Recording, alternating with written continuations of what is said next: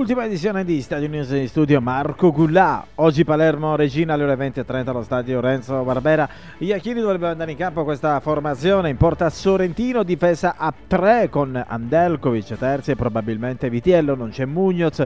A centrocampo dovrebbe recuperare Maresca che giocherà assieme a Barreto e Bolzoni. Sulla destra Stevanovic e sulla sinistra Lazar.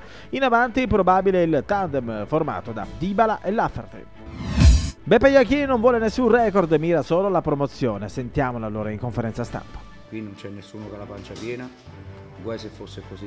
Noi dobbiamo sempre andare alla ricerca di continue conoscenze, continui miglioramenti, eh, continua ricerca di, eh, innanzitutto del primo obiettivo, quello di voler arrivare prima possibile a raggiungere una quota matematica di, di promozione che ancora non c'è. Dobbiamo comunque rispettare i nostri avversari eh, li dobbiamo rispettare, rispettare, ma anche in virtù di quello che è la loro storia recente.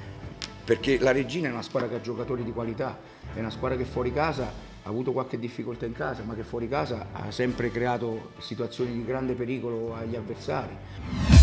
Giorgio Perinetti, responsabile dell'area tecnica del Palermo, ha parlato del momento attuale del Rosanero e del bisogno di lanciare nuovi giovani. Il Palermo è là dove tutti speravamo potesse essere ad inizio stagione, dovremmo dare più valore ai nostri giovani italiani, prodotti del vivaio e dei settori giovanili, invece ci crediamo ancora poco, potremmo fare molto di più. Gennaro Gattuso, ex allenatore del Palermo, intervenuto durante una trasmissione, ha avuto modo di parlare dell'andamento del Rosanero. Il merito è di Iachini, ha detto riguardo alla prima posizione in classifica conquistata dalla sua ex squadra. Riguardo a Zamperini invece solo una battuta. Quando diceva che sarei rimasto a lungo, mi giravo e mi toccavo. Milan Milanovic esprime un giudizio sui contenuti del campionato cadetto e dice la B è molto difficile, ci avevo già giocato sei mesi con il Vicenza. In questo campionato non c'è molta qualità, si corre però tantissimo, ci sono diverse squadre che si chiudono e provano a colpire in contropiede. Bisogna stare concentrati 95 minuti su 95 per tutte le altre notizie stadinews.it.